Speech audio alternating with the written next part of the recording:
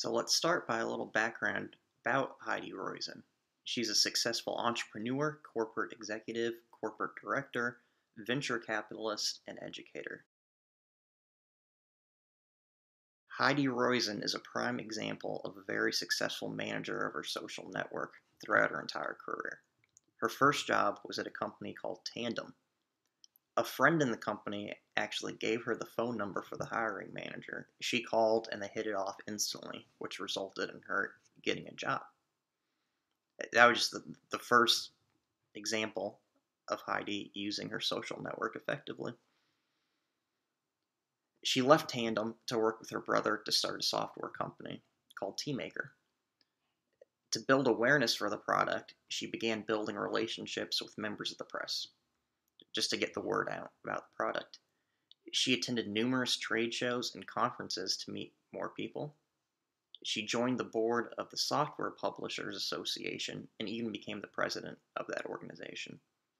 This allowed her the opportunity to meet industry leaders. She also met and befriended lesser known people in the industry who went on to become leaders in the tech industry years later.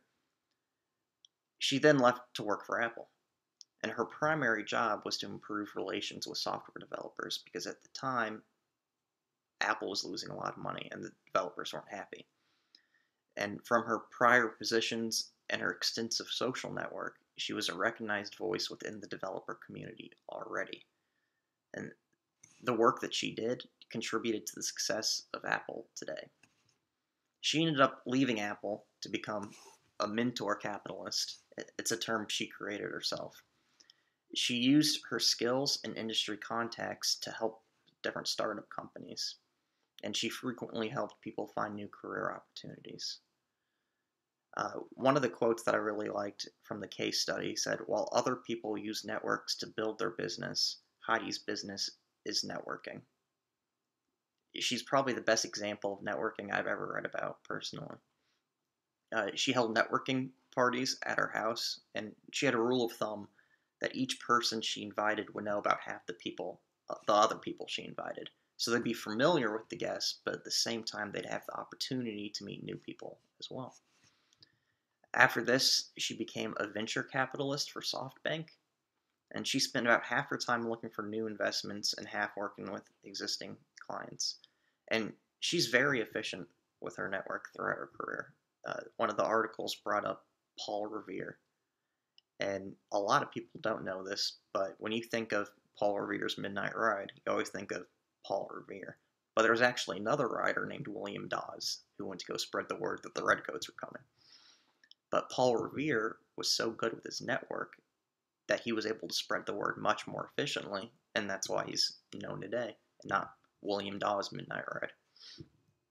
Uh, she formed very close ties with people who were the nuclei of other networks, and this allowed her to tap into other networks if needed.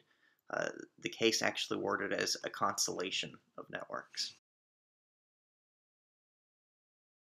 In Adam Grant's Give and Take book, the most successful and the least successful people tend to be givers, as opposed to takers or matchers. And as Grant discusses, givers have a tendency to burn out more often if they can't limit their giving. Uh, and Heidi's a perfect example of this because she left Apple because she was burnt out. Even with full time assistants, she couldn't keep up with the incoming demands. And as a successful giver, she was comfortable picking up the phone when she was at Apple to reach out to her contacts. Some of these contacts she hasn't hadn't even talked to for several years. She helped people she liked and respected to find new career opportunities. She helped people through her dinner parties to make new connections. And as a successful giver, she was able to avoid being a doormat, which is uh, hard for the less successful givers to do. She only leveraged her extent social network if it would be a benefit to both parties involved, and she was careful how many times she would ask her contacts for assistance. The persuasion article in the Harvard course pack goes over principles persuasive people have. Heidi Roizen is an example of several of these principles. The first one is liking. She's a very likable person. She takes the time to interact with lesser known industry figures. As the case said, Her willingness to invest time in developing relationships with people whom she found interesting and smart, as opposed to powerful, paid off repeatedly throughout the years. Oftentimes, these lesser known people ended up evolving into the more well known figures in the tech industry, in her example. Her friendly personality let her interact with people everywhere, including while working out at the gym, uh, when she was picking her children up from school.